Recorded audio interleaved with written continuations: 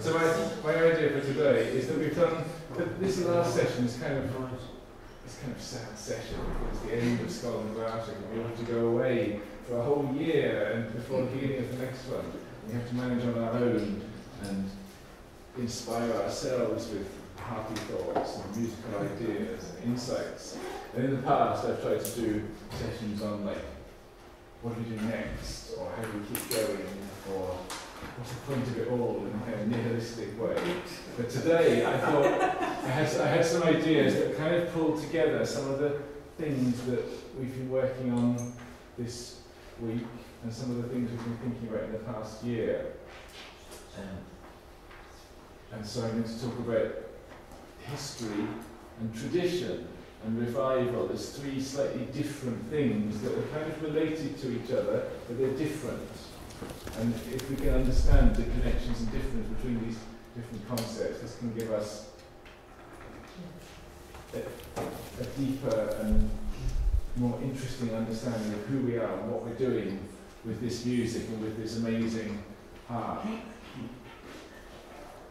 And so my picture that I've chosen for the, for the cover picture is one of the early revivals of our harp. And you can see these wonderful Victorian people uh, up in Oban for their, for their Gaelic choir about 1892. And you have on the far left of the picture is now the pipes, and on the far right of the picture is a lady with a clarsach. And this will be one of the Glen harps that were made in the early 1890s, and they're fairly good copies of the medieval Gaelic harps and they have carved out one piece of those soundboxes and brass wire strings, and they're pretty closely modelled on the Trinity College harp, the Queen Mary harp, and the Lamont harp. And this is Scotland? Oban's, Oban's in the west of Scotland, yes. And uh, I, I'm interested in this revival because they really went for it seriously. They commissioned good museum replicas uh, as, as good as what we've got here in the room today, and yet they didn't click about the playing style and the touch and the everything. So she's playing it back to front on her right side. She's got it held quite high on her knees with her hands up. So she's basically uh, classically trained on pedal harp, and they tried to apply those techniques across, and it kind of didn't work. And within a year or two, that whole thing had been abandoned.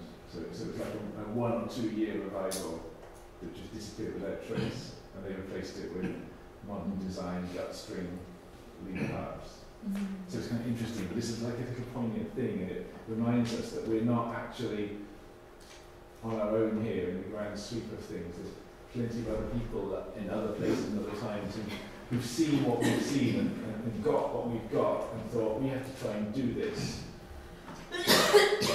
not all of which has been successful, but still. so I had this idea, people often talk about historical harp, and people talk about traditional music. And sometimes you kind of, it gets a bit hazy, and you talk about the, the traditional music, traditional musicians playing the historical harps, or in the historical harp tradition, and nobody ever stops and talks about these things. And so I thought, what is history? What is historical? And what is traditional? And so I was thinking that history really means storytelling that you're here now telling a story to, to somebody about stuff that happened in the past that's not happening now. Do you see what I mean? This is what history means, is, is you're having a conversation about stuff in the past. Does that make sense? Mm-hmm. But tradition is quite a different thing. Tradition is a thing that's completely happening now, and it's a kind of when you have a tradition, the people in the tradition, they have expectations about what you should do. You know, if you if you're in a tradition and you do something that's contrary to what people expect, they think you're doing it wrong, or they're surprised at what you do, or they find it inappropriate. You know, and you can think about this in very broad ways, even little things like when you come to the door and you see somebody for the first time of the day, you say, hello, good morning, and that's the little traditions we have, the things that we say when you meet people the first time or when you leave at the end of the day. And if you say something different, then it's considered a bit strange or inappropriate. If you walk in the door in the morning and say good night, I mean, literally it might be true, you might have had good night, But It's not expected, and it's this, it's this expectation of what should be done. This is kind of norm of this is what's done, this is the norm of what's done. And I also thought that tradition includes these instructions in what to do. So, so you, you other people, or they tell you this is how you do this thing, and then you get you do that, and then you're part of that tradition. It's handing on. Okay. So, in early Irish harp music, we have history by the bucket load, as Eamon said last year, and we have no tradition. And I find this quite interesting. Okay, we're drowning in history, and we're parched with thirst for tradition. Because as you will know from your studies this week, the old Irish harpers didn't pass the tradition on to students. There was no continuing carrying stream of you know, the Irish harp playing the tradition came to an end in the 19th century, and that was it. And the, and the replacement traditions that, that filled the void of harping in Ireland, the gut-strung lever harp, was a new imported tradition that didn't have any continuity or contact with the old tradition of the early Irish harp, as far as we know. Okay.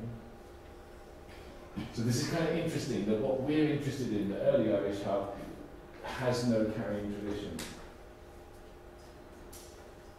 And some people have seen that and said, well, in that case, it's dead and you can't ever do anything about it, and, and we'll just lament it and tell stories about it. Okay? But because we have so much history, because we have Bunting's manuscript, because we have the old harps in the museum, because we have the memoirs of Arthur O'Neill, because we have all these stories and documents telling the story, then we have this idea that we don't have to just sit back and say it's dead, what a shame. We can do something about it, okay? And that doing something about it is revival. Okay? But I'm going to talk about revival a bit more in a little bit. Let's, let's stick with history and tradition first of all. Now, one of the things that I've been looking at for a few years now is Welsh harp. Okay? There are interesting connections between Irish harp and Welsh harp. Now, they are quite separate things. The traditions are quite independent. They're connected to language traditions, and Irish and Welsh language are quite independent. They're organologically independent. Irish harp is not used in Wales, Welsh harp is not used in Ireland as a rule. The, the Welsh... Irish harp was used in Wales. I said, I said as a, as a general rule. As a general You know, rule, sorry. na native Welsh harpers don't play Irish harp. They play Okay, so na what native Welsh harpers have done all through the centuries is they've, is they've looked east and south and they've got their harps in London. And so, and so Welsh harp tradition has used imported Anglo-continental harps, but they've used it in an indigenous native tradition. And this is the same way that Irish fiddle, Irish, Irish fiddlers get, the, the, the, fiddles that Irish traditional fiddlers play are basically Italian violins. Yeah? Okay, and so the, and Irish fiddle makers are copying the Stradivarius models, just the same as classical violin makers all over the world. So, so, it's, so it's not a problem that Welsh, Welsh harpists are using Anglo-continental instruments in their tradition, and it doesn't dilute the genuine, authentic nativeness of their tradition. Okay? Irish harp is different because the Irish harpers had their own indigenous type of harp that doesn't have a great deal in common with the, with the uh, Anglo-continental traditions. So that's the main difference, as far as I can see, between the way these two traditions work. Okay? It's the type of instrument. Does that make sense? Mm-hmm. Yeah. Okay. So, but, but in terms of, and, and, and so the traditions themselves, there's not that much crossover. There's this tradition in, in, the, in the medieval Welsh harp tradition that their traditions come from Ireland, and there's lots of garbled stuff like that. But from a kind of anthropological point of view, the way the tradition works seems to me to be very similar in the way you have these there's a tradition of blind harpers, there's oral tradition learning, there's playing to accompany formal art songs in the native language. Um, Welsh harpers always played left orientation, just like the Irish harpers, and as opposed to the, to, to yeah, Welsh harpers playing on the left, whereas everybody else plays on the right. So, so there's interesting parallels. So, reading about the Welsh harp traditions, I kind of saw, this very interesting thing.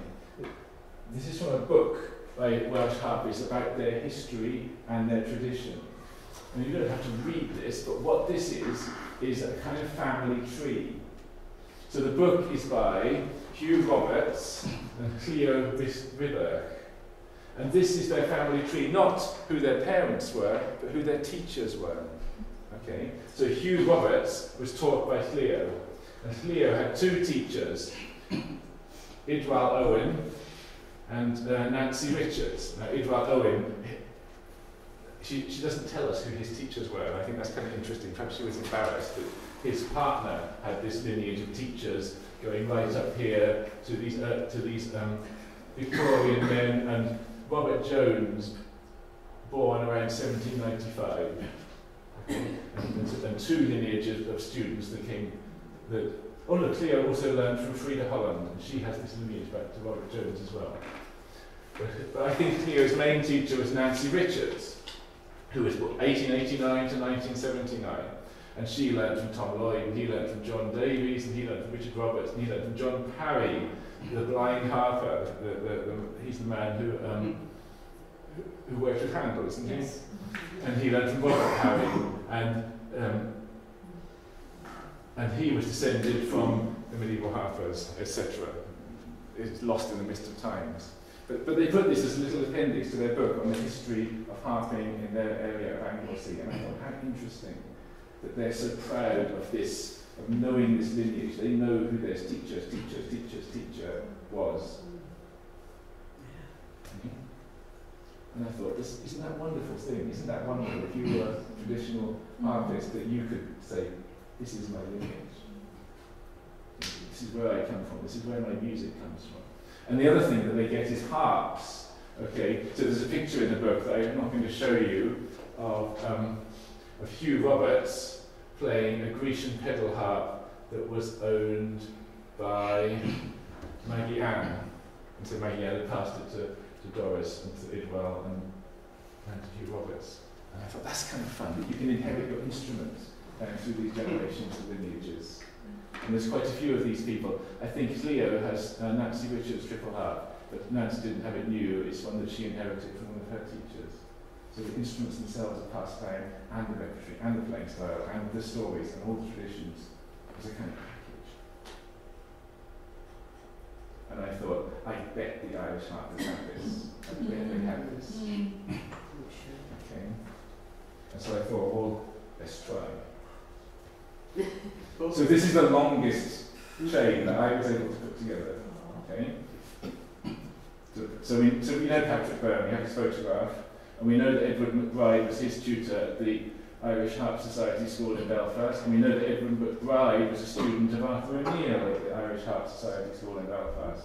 So both of these, you know, th this is the start of the, of the revival. This is the charitable attempt to keep it going that didn't really go anywhere. So even this is a little bit artificial. And Arthur O'Neill tells us in his memoirs that he was taught by Owen Keenan, who was born about 1725. But I don't know who, who taught Owen Keenan. I don't know if that information is anywhere. And you could, you could, I'm not sure that you could branch it out that way, because I'm not sure that we know any other teachers of any of these people, but you could certainly branch out this way, because Arthur O'Neill had tons of students at the Harp Society. And one of them was Valentine Rennie, who had tons of students of the same generation as Patrick Byrne, and Edward McBride had tons. So you could probably add about 20 more names to that without much effort. But one thing you'll notice is that it stops here. Okay? So, so the Welsh chart stopped with Hugh Roberts, but he's still alive, and he, you, know, you can go on YouTube and find videos of him, and that's fine. But this one stops with Patrick Byrne, and he's dead for 150 years or so. And this is our problem that the lineage has come to an end there, and that's it, that's the end. Okay, they, they, were, they didn't pass the tradition on until the lineage comes to an end. So it's like a family tree, and you have a name it died without issue, and that's the end of that family tree. Okay? And they have no descendants, and you can't make new descendants off of them after a gap, because that's not how lineages work. Okay? And I had a think, and I thought, what other lineages can we come up with? And I, and I came up with two tiny fragmentary ones, but I suspect that these ones are related because, uh, because we, we know Cornelius Lyons, and we, and we have reference to two students of his, Ector McCain and Hugh Quinn. Okay? And we, and we know that Dennis and Hampsey played a lot of Cornelius Lyons' repertory. And so in an oral tradition, there must be some connection between them. You know, Dennis and Hampsey must have learned those variation sets from, Well, they were both in the north of Ireland. maybe he learned, maybe Dennis Hampsey, maybe there should be a dotted line that goes up to Cornelius Lyons. Dennis, we don't know that Dennis Hampsey met him, but he might have done. But- Not that far. Yeah. but, But you know what I mean? There must be some there must be some dotted line that goes from Lyons through somebody else, maybe to Dennis and Hampsey. So, so there's a kind of theoretical connection there, possibly, but I don't know. And then Dennis Hampsey tells us about his four tutors, but we don't know who taught them. And Dennis Hampsey didn't have any students, as far as we know, so his lineage ends there.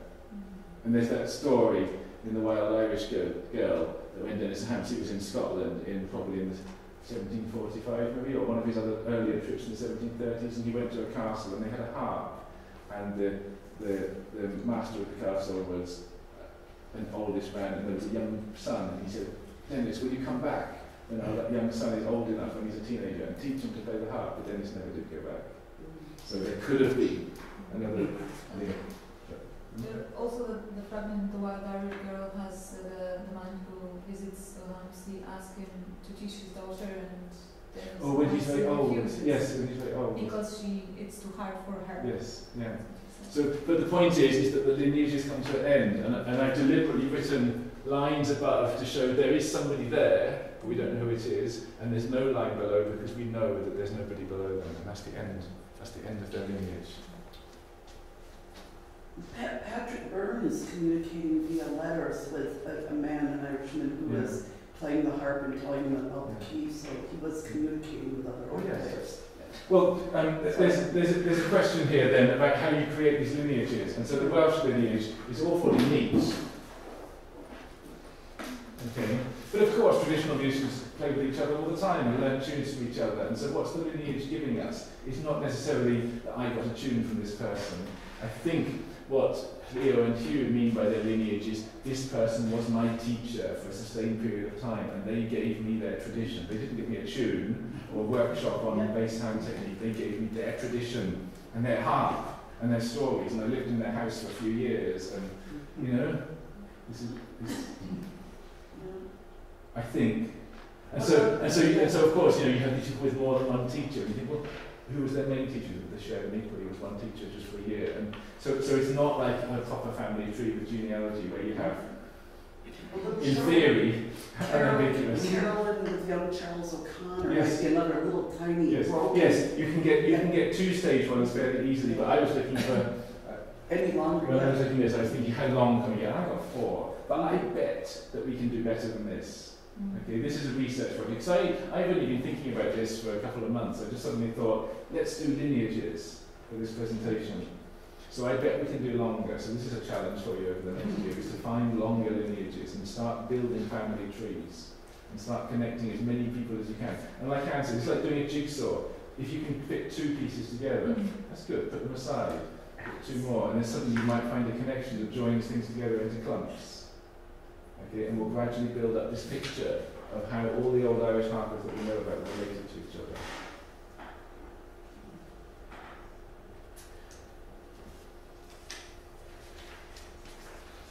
But my main point with those lineages for today, well, no, there's lots main points, but one of, one of my points, the point I'm going to carry on with, let's say, is that they come to an end and that's it, and the end is in the 19th century, and that's well over 100 years old.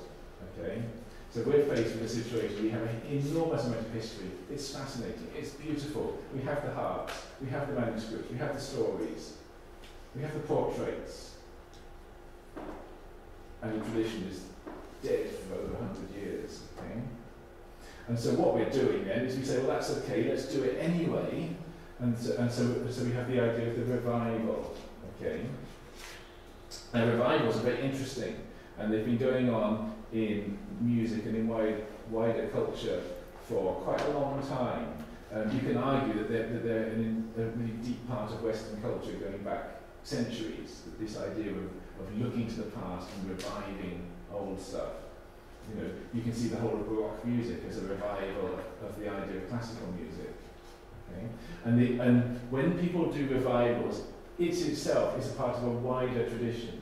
And this is the thing we always have to remember, is that everything that we're doing here, uh, the Irish harp tradition might have stopped, but Western civilization hasn't stopped, and we're part of it, and it's our tradition, and, it's, and we're acting within it without even being aware of it. So there are cultural currents affecting what we do without us realizing it. And then I think, well, let's try and realize, and that'll give us more of an insight as to what we're doing, and what we can do, and what we could do, and what we should do.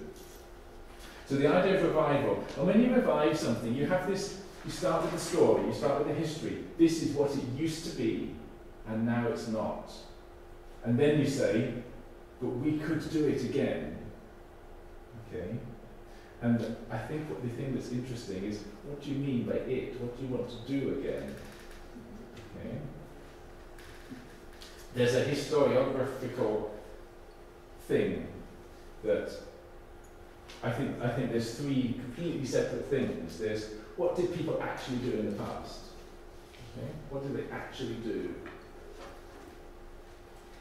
Imagine, imagine Dennis Hampsey sitting in his cottage with the downhill harp playing a tune. He actually did that. He actually did. He actually moved his finger onto a certain string with a certain amount of expression, with a certain feeling and emotion inside himself, and, and, and there was a certain response from the listener. Yeah? It actually happened. What, what do we know about that? Or what can we know about it? You know, we can't know everything. We can't know what was in his head about what was going, he was going to have for dinner that evening, whether that fitted through his brain or not. So there's stuff that we can't know about it. We can't know exactly how he moved his hand. In fact, we can know pretty little, you know? We've got scribbled transcripts of the tunes. And then we've got all the ancillary information you know about the portrait, the harp, the wear marks on the harp, the stories. But you see what I mean? There's a, there's a gap between what actually happened and what we know. And there's a big gap between what we know and what we do now, because now we can do anything. You know, we could run away to the States and join a jazz band and play the banjo. And it wouldn't actually affect what we know about Dennis Hampsey, and it wouldn't affect what he did. Do you see what I mean about this disconnect? So, so th this is an interesting thing about revival, is that revival is what we do now, and, and there's no necessary connection between what we know about what happened in the past and what actually happened about in the past. Okay? We can we can claim to be doing exactly what Dennis Hampsey did. Okay? I, I can say to you, this is exactly this building is Dennis is where Dennis Hampsey's cottage was. Okay? This lever harp is actually Dennis Hampsey's harp. The one in the, one in Guinness's is not is, is, is not really it's a substitute. Okay? And this tune I'm playing is exactly the movement that he used. And you would all go, completely wrong. Okay, but I can say it and I can do it. And how do you know it's wrong? Because you know the history as well as I. And so you can identify. What about the things you don't know? Okay. So the, the, the, Repeat that question. what, what about the things you don't know? You know, like you say, this is this is what Dennis Hampsey played. Okay. I might be more cautious, and I might say, well, I don't know exactly what Dennis Hampsey sounded like. I don't know exactly how he held his hand. I don't know exactly how high his seat was. This is kind of how it works. And then once you get into kind of how it works, there's different kinds of kind of, and you can be more or less, you know, you can push it. You can say, well, Laws about. yeah. You can say, well, this is how Hugh Higgins plays, but we don't know what Hugh Higgins' harp was like. Well, we'll use somebody else's harp. And it's near enough, it's kind of right. You can do, and um, Higgins probably played with the tips of his fingers, but we don't know that. But we'll play with our nails anyway, and it's near enough. And, and then we get to the stage where we're kind of approximating the tradition, except we kind of know that some bits are different, but also we don't really have a way not to. You know, you can't do Arthur O'Neill's music on Arthur O'Neill's harp because you don't really know what Arthur O'Neill's harp was. Do you see what I mean? You have to start making it up. And this is, this is where I think it gets really interesting in terms of what you do when you make it up. And this is, this, this is what informs my whole attempt to get a big picture, to study as much as possible, to try and understand the context of what you're doing, because then you can kind of say, well, yes, this is plausible. And how do you know it's plausible? I mean, you know, you know certain things and you don't know other things, but you get an idea, you get a sense for the wider cultural context, and then certain things seem to fit the context and other things seem not to fit the context. But it's very difficult to to say how that's done. Mm. And I think that's connected to the kind of stuff Ronan's talking about, the tradition. How do you how do you know when what a grace note is appropriate? Because you just you just Mm. know the context, you know the tradition. And then and then you think, well, in that sense, what we're doing here is making a new tradition because there's a communal knowledge, a communal body of experience, there's an expectation amongst us as to what as to whether what I'm doing is appropriate or inappropriate to our tradition. But our tradition is not the early Irish harp tradition, because that died over 100 years ago. It's the revival. It's the early Irish harp revival tradition. And we might be all barking up the wrong tree. You know. Remember the April Fool's joke? Where, where a decade or so ago, where, where, I, where, where, I, where I published a spoof paper about how they discovered that they, that they didn't actually use wires, that it was a kind of technical error, and it was gut strings drawn through things to plasticize them or something, and how the, the nearest modern substitute was nylon, and Siobhan believed me. No, it wasn't me. It was a very it's a, uh, a harvest to America from Maryland, Ireland, who who And it caused a big frothing. kerfuffle. She started frothing Yes. about it. It was hilarious. But you see, but you see, a piece of information could come up like that, Yeah. that changes all our opinions. it does come. Okay, so Karen Loomis is, is trying to have the, the, the uh, medieval harps radiocarbon dated. Suppose the dates all came back and they were unambiguously 19th century. okay? And you all laugh nervously because it's really possible. And then we have to start step back and say, okay, what do we do now? Okay? Or suppose the dates came back and they were unambiguously 5th century. Okay? Which is possible. We just don't know. And it would completely change Or rather, fifth our and view of things. Okay? that's for sure. And you say rather 5th and 19th because we all have expectations and hopes. Okay, we're not doing this in a cool way. What do we know? What do we not know? How does this affect our practice? No, we're, we're emotional human beings and we have we, we want certain things, we don't want other things. And this is interesting as well because when you've got so much uncertainty, these hopes and fears can colour your practice. Okay? And this is a thing that I'm quite interested in, that, we, that I think we, can be, we should be aware of that. Because if we're to be true to the tradition, to the old tradition that died over 100 years ago, then we have to be careful that our 21st century hopes and fears don't, let, don't lead us to push it in a way that Mm. not what the tradition we're claiming to revive would have wanted. Do you see what I mean? There's a thing about respecting the old tradition that I find very interesting. Anyway, just to finish off, I wanted to talk a little bit about context. So I talk about cultural context. And um, I think one of the things that we talk least about is the context of our music. Okay? We play in classes, we play in the pub, we play in rather formal concerts, sitting on a stage with the audience in lines and clapping at the end of the tune. And I think that's a very 21st century thing, and it's not the cultural context of the old harpers. And I'm not saying that they shouldn't do it, because there's not a connection between what we do now and what happened in the past. It's up to us to choose to do what we do now. But it's, a, it's another piece of the jigsaw to add in, because it might affect things. It's, it's, it adds to our knowledge, it adds to the story, and we, we can we, if we want to, we can choose to be influenced by it in our current practice, and if we don't want to, we don't have to, because we can do whatever we like. But I just thought we should think of it. have to be careful about how you interpret. Well, of course you have to be careful. I, I'm not interpreting it at all, I'm just putting it up labelled performance context, so that we can all look at it. Sylvia, Sylvia showed us this one, and, and this one fascinates me, because at, at every concert that we've had here, the four concerts in this room, okay, the person whose name is shown is the person sitting on the stage, okay? They're, they're raised up. The lights are on at this end so you can see them, and everybody else sits in rows, not looking at each other, but looking at this person. Yes? Now look at this picture from the late 18th century. Okay? And this is a performance context of the late 18th century Irish harp tradition. And Sylvia showed you the watercolour cartoon of this oil painting, which has a poem which names each of the people. So we have the bishop. Is the bishop the one with the papers? I think so. And, and all his literary and artistic, aristocratic friends around him, each one named, and we know who they are because we can look them up in the genealogies and the who's who, except this one here is not named, and he's the only one that's dark. His face isn't coloured in, whether it's because it's been obliterated or whatever. And he's, the, he's just called the Irish Harper.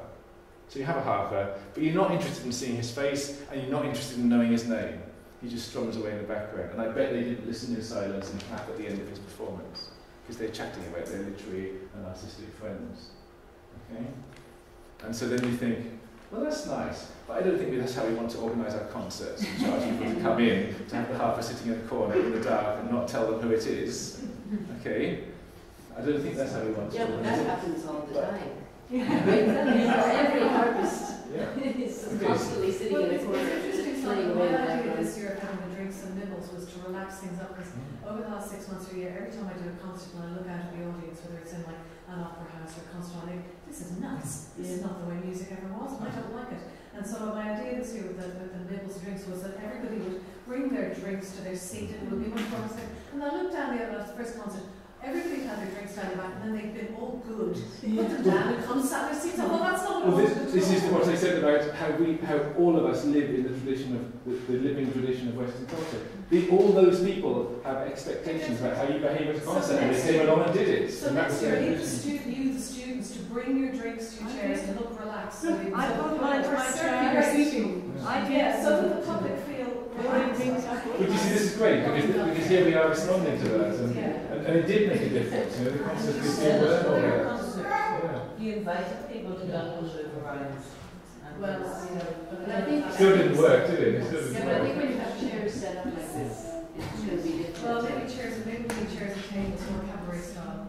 I'm serious about that. Yeah, now the only trouble with that is that tables. is that it's very hard to, it, people want to listen. And, And Yeah. when you, when you set up a, something informal like that, there's going to be somebody Yeah. uh, talking, because they'll feel so. There's no necessary connection between what people did in the past and what we do now. Mm. It's up to you. And so I'm, I'm just I'm just throwing out bits of the story here, and then we can respond to it in what we think.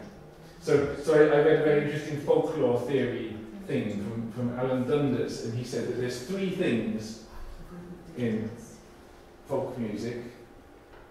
I don't know. I don't know what he meant by folk music. I won't go into it now.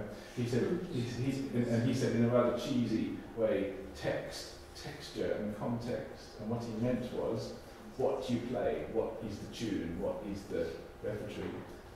The texture is how you play it, style, the, the mm-hmm. instrument, the technique, the, the sound quality, you know, all those things, the phrasing, this kind of thing, and where you play it, who's listening, the building is, how everyone behaves around you. And I thought that's very interesting that he gives these three things equal weight. You know, the actual tune, the style, and the instrument and everything, and what's going on, what what's going on around you, and what everyone else is doing. Um, I thought it was very interesting. And I think that's the thing that we're not paying attention to in our revival. I think that might be fun to. But that's all. What did you wear? What did do wear? That's part of the fun. Thank you very much. That's it.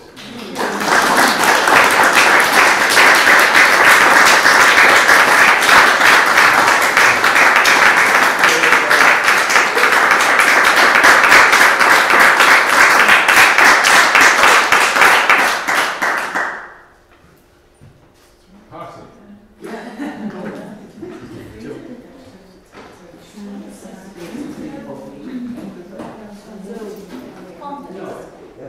And, and, uh, because I was thinking, What's speaking? Say your kind of-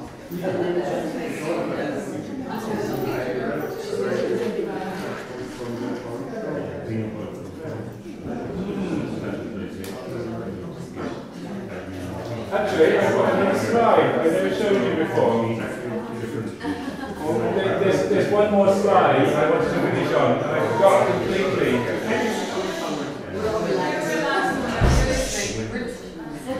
There's one more slide that I meant to add on, but it wasn't on my list of slides, so I completely forgot about it, but it was my final quote.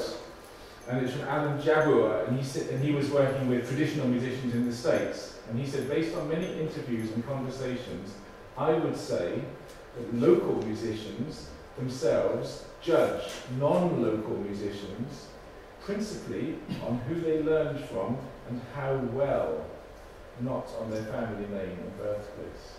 And I thought that's very interesting. It's not to do with how Irish you are, mm-hmm. whether your mother was Irish, whether you were born in, in, in Wexford or whatever. It's to do with your lineage. This is what I started with. It's, it's how you apply yourself, what you learn from, what you take from the tradition into yourself. And I thought that was interesting for all of us because there's so many non-Irish people. That's the Handbook of Music Revival. Yeah. So I thought that was a fascinating little, little throwaway comment in, in his study of the Appalachian traditions. We need a cohort of people in this country to, to lay the foundations as well, and others that have been coming from outside. Yeah. Anyway, that really is the end. Sorry for the false start. It really is a party.